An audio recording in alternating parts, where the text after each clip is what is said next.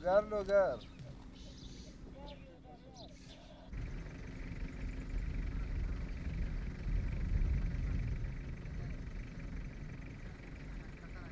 لوگر مخنه است شایی کرد قرارگاه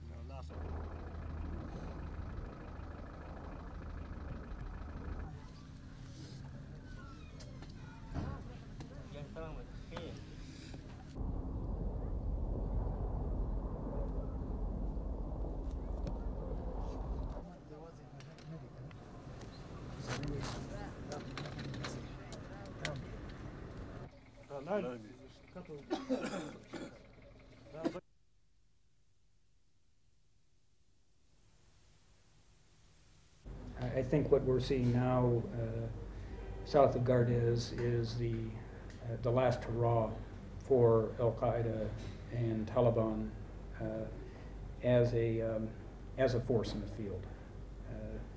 Uh, The end of uh, this fight will not be an end of the campaign. I think you've heard uh, a number of uh, U.S. leaders, uh, and first and foremost the president, say this is a long fight and it's not over.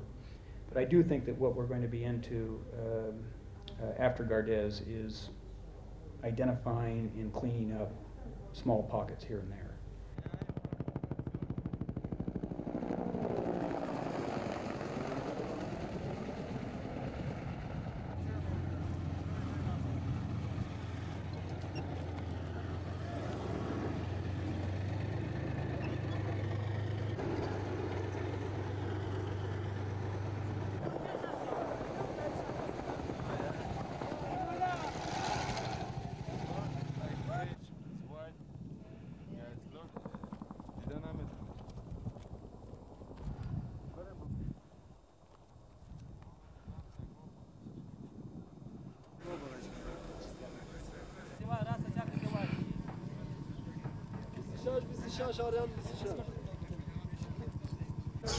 Our two principal missions here were to uh, defeat the Taliban and uh, allow the uh, allow the conditions to be set for an interim Afghan government and hopefully a, uh, a government that's uh, going to be long lasting, that's representative of uh, all the ethnic groups in Afghanistan. The second one, of course, is to rid the Al Qaeda from Afghanistan.